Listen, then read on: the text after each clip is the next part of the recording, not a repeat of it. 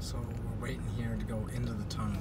I think I saw the tunnel up on the cliff, and well, so I saw something. I saw a tunnel opening into the face of a cliff, like, and then it just stopped. So I don't know how, if there's a turnaround or what, how they do that. But we're about to go inside of one of these cliffs. I'm pretty sure. Um, but we have to wait in line. So I'm gonna pause it here.